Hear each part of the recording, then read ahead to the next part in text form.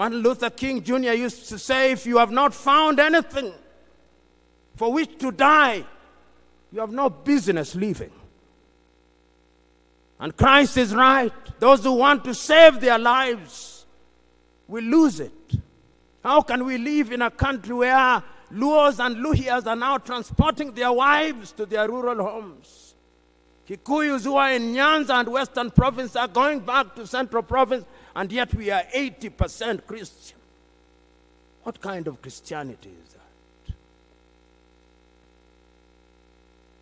Who has bewitched you?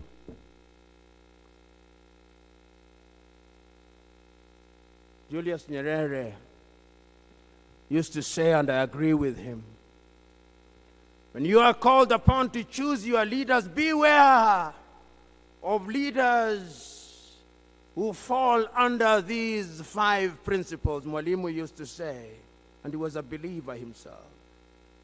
Beware of leaders who love power for its own sake. Beware of leaders who love prestige for its own sake.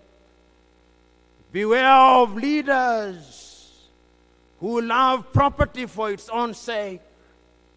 Beware of leaders who love popularity for its own sake. And beware of leaders who love pomposity for its own sake.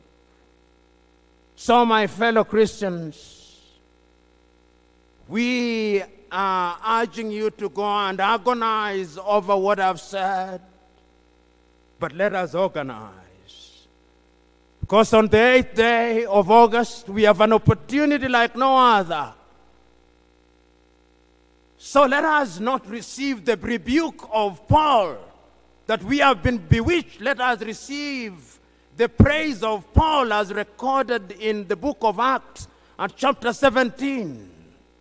Let us be like the Christians of Berea, who, after they had been preached to, they would go out and ask, Did Paul and Silas preach to us the true word? The burden is yours. If I spoke anymore, I would be Pharisaic.